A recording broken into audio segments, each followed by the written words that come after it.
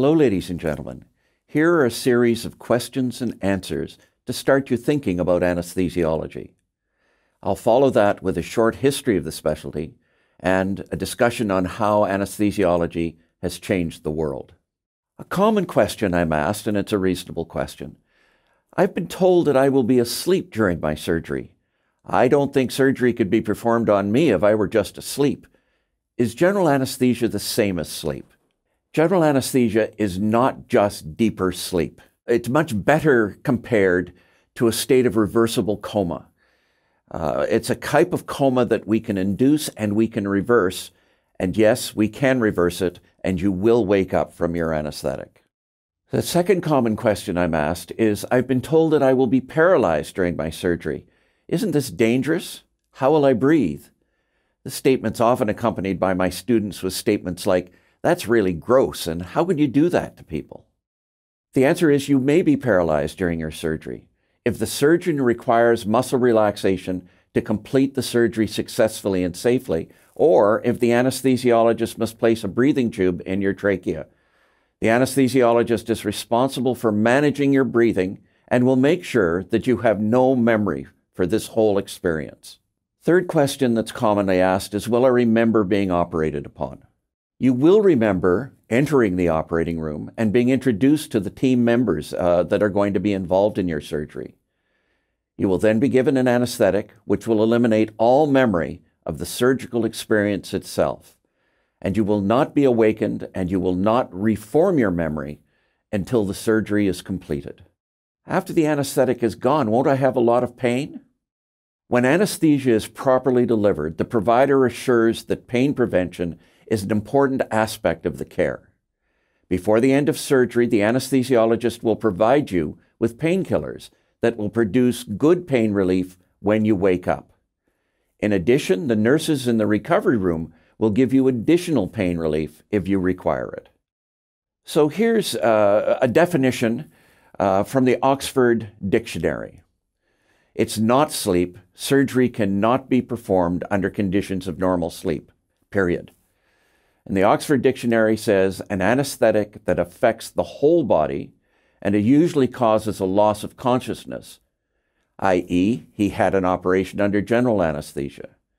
The critical word here is a reversible drug induced state of unconsciousness, which is characterized by a coma like state under the control of the anesthetist, term that is also known as anesthesiologist, depending on what part of the world you're in.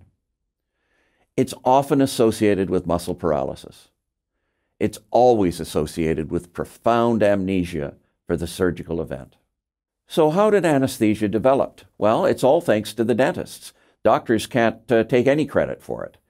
Prior to 1846, there was no known way to provide anesthesia to those undergoing surgery.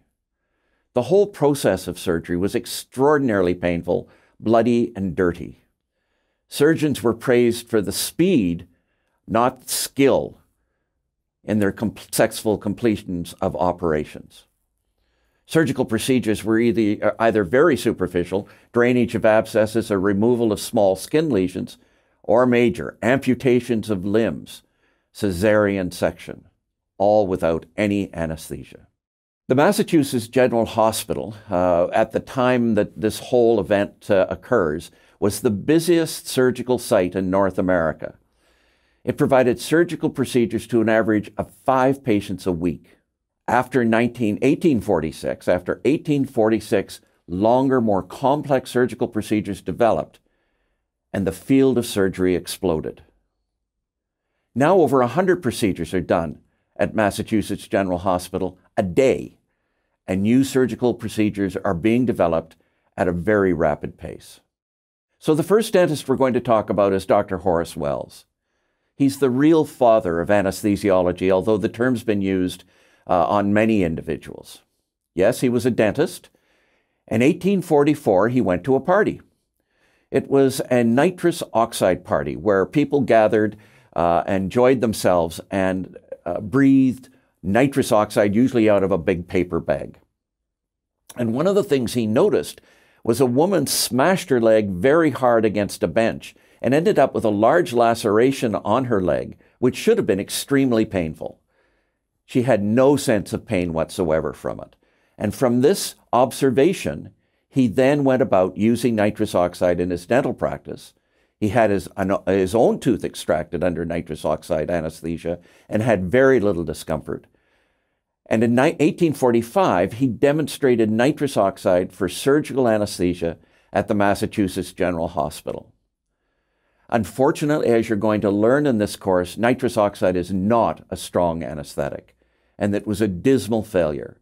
And he was shamed before all the physicians in Massachusetts and the dentists.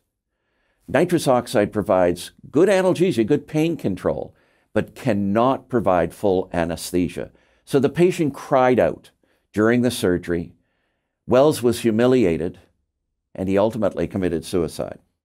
This was a typical advertisement in those days for a, a, a, laughing gas party, nitrous oxide party.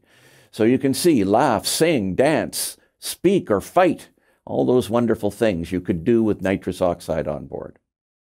So the next dentist to come along was Dr. William Morton, also in Massachusetts. He had actually been predated by Dr. Crawford Long in Great Britain, who did do surgery under uh, ether anesthesia, but didn't bother publishing his results. So the first described and known event in general anesthesia occurred on October 16, 1845. Dr. Morton provided anesthesia to a young man having a tumor removed from his neck under ether anesthesia. And the chief surgeon turned to the crowd in the room and said, in the very pompous way of that Victorian era, Gentlemen, this is no humbug. And Morton's uh, name was made. Morton was a bit of a scamp, unfortunately, and uh, he tried to uh, make more out of this than, uh, than uh, he was able to by coloring ether orange and then trying to patent it as orange ether, claiming it was superior to regular ether that had actually been around as a solvent and cleaning agent for centuries. So this is a, a, a painting of that first event. And uh, this is from uh, uh, 1845 at the Massachusetts General. This operating room is still uh, in existence, and you can visit it if you wish. But you can see how very different the world was then than it is now. All these people gathered around the uh, operating room table wearing street clothes. They may, in fact, be people right off the street because, like uh, public executions, surgery was a popular spectator sport in the mid part of the 19th century.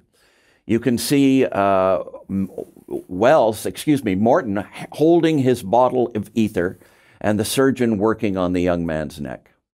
So that started general anesthesia for general surgery. But it was important to move beyond that to other areas of need, and the area that was likely to be missed in all of this was obstetrical anesthesia. Partly this was due to the biases of the era that said, you know, pain during labor was a required part of woman's uh, recompense for original sin. Well, there was a very powerful lady in existence in that era in Great Britain. That was Queen Victoria. And she wasn't willing to be punished for something that might have happened in the Garden of Eden. And with her uh, eighth child, she had 11, I believe, she asked Dr. John Snow, who was the first practicing anesthesiologist in Great Britain, to provide her with anesthesia. Snow's an interesting man, and for those of you who are aware of the uh, London pump cholera uh, uh, story, uh, he was that's the same John Snow who discovered that pump and was able to prevent uh, a, a cholera uh, from spreading in London. And so, in a way, he's the father of epidemiology, and he's also one of the fathers of anesthesiology. Very amazing man. Anyway, after she delivered her baby, Queen Victoria said, Dr. Snow gave the blessed chloroform, and the effect was soothing, quieting, and delightful beyond measure. And from that moment forward, obstetrical anesthesia had a solid place in medicine. So this is what it looked like to start with. This is a bottle of ether and a Schimmelbusch mask. And the mask is basically uh, just a wire mask that you laid some gauze over and you poured ether directly on the gauze and put the mask and gauze over the patient's face and they breathe the vapor.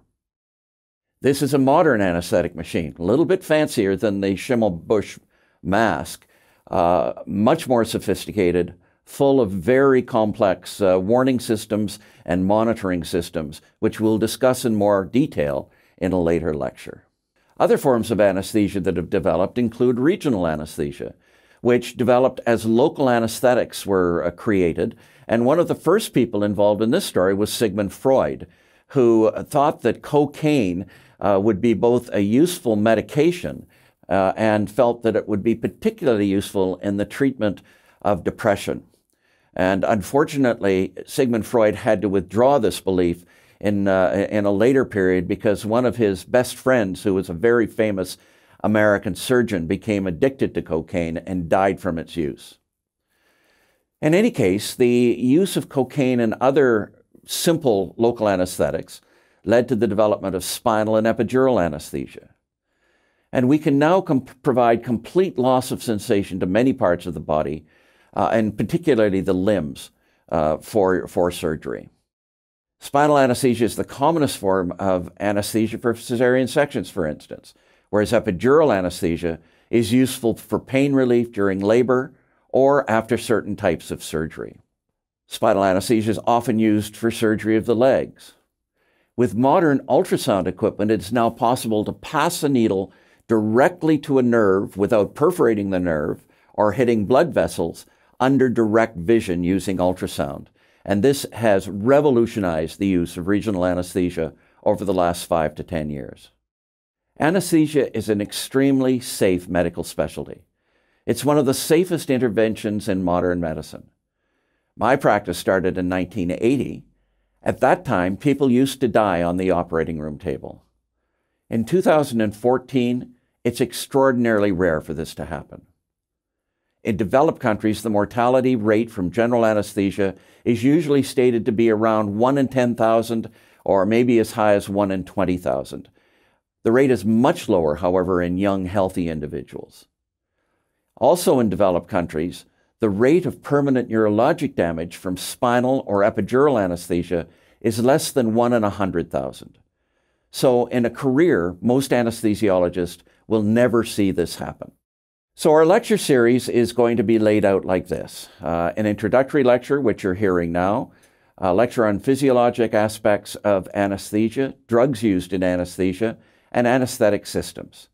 We'll then move into the more clinical aspects of the specialty and talk about general anesthesia, regional anesthesia, emergencies in the operating room, intensive care of patients, pain management, and anesthesia for special populations such as the pregnant patient, children, uh, thoracic anesthesia, neuroanesthesia. And then at the very end, we'll summarize everything and we'll have a short discussion about anesthesia uh, and its use in other medical disciplines and the future of anesthesia and some of the opportunities for young anesthesiologists opening into the future. So, in this lecture, we've summarized uh, the history of anesthesiology and given you a bit of an overview of what general anesthesia and regional anesthesia look like.